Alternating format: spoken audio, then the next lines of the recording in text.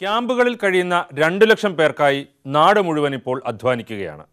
സർക്കാരിന്റെയും സന്നദ്ധ സംഘടനകളുടെയും സംഭരണ കേന്ദ്രങ്ങളിലേക്ക് ഓരോ മണിക്കൂറിലും ലക്ഷങ്ങളുടെ ഉൽപ്പന്നങ്ങൾ എത്തുന്നുണ്ട്. ഒരു പ്രതിഫലവും പറ്റാതെ നൂറുകണക്കിന് ചെറുപ്പക്കാർ അവിടെയെല്ലാം നിശബ്ദം ജോലിയെടുക്കുന്നു.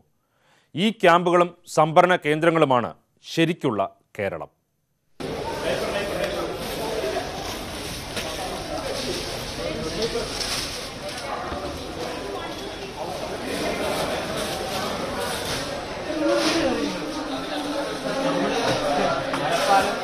കയ്യിൽ പേരെന്ത് ചോദിക്കേണ്ടായിരുന്നു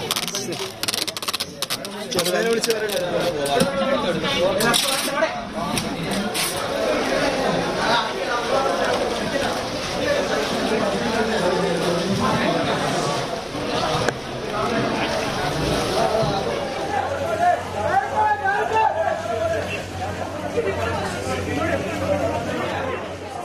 ഇത്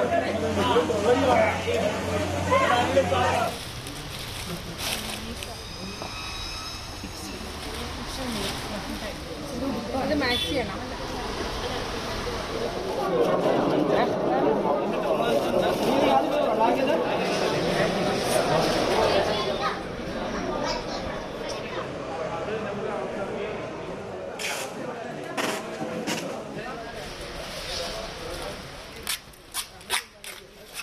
എത്ര വലിയ ദുരന്തം വരുമ്പോഴും അതിജീവിക്കാനുള്ള ഊർജം ഈ കൂട്ടായ്മയാണ്. ദുരിതാശ്വാസ ക്യാമ്പുകളൊന്നും ഇവിടെ ജയിലറകളല്ല. നൂറുകണക്കിന് അംഗങ്ങളുള്ള വലിയ കൂട്ടുകുടുംബങ്ങളാണത്. എല്ലാം നഷ്ടപ്പെട്ടവർക്ക് വേണ്ടിയുള്ള ഒരു കൂട്ടം മനുഷ്യർ അധ്വാനിക്കുകയാണ്. ആ അധ്വാനത്തിൽ സന്തോഷം കണ്ടെത്തുന്നവർ ഇതിലേറെ അഭിനന്ദനവും ആദരവും അർഹിക്കുന്നുണ്ട്. സർവേ ഡയറക്ടർ ശ്രീറാം വെങ്കിട്ടരാമന്റെ ജാമ്യം ഹൈക്കോടതി അംഗീകരിച്ചു.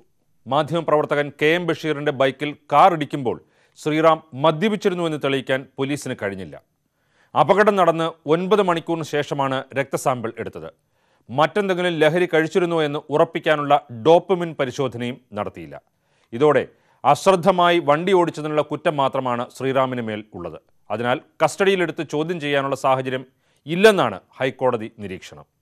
ശ്രീറാം മദ്യപിച്ചു എന്ന് തെളിയിക്കാൻ കേരള പോലീസിന് കഴിഞ്ഞില്ലെങ്കിലും പോലീസിനെ നിയന്ത്രിക്കുന്ന മുഖ്യമന്ത്രി ഇത് നേരത്തെ തന്നെ പറഞ്ഞതാണ്.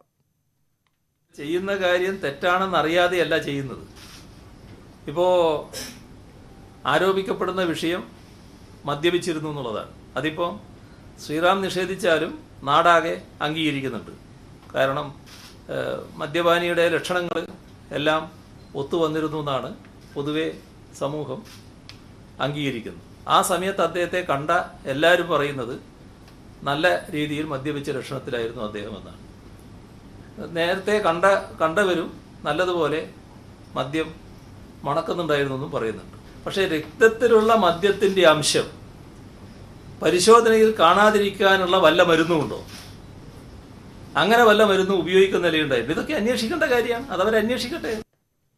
സംസ്ഥാനം ഭരിക്കുന്ന മുഖ്യമന്ത്രിക്കും ഹൈക്കോടതിക്കും പോലും ബോധ്യമാണ് ഈ അപകട സമയത്തെ ശ്രീറാമിന്റെ സ്ഥിതി.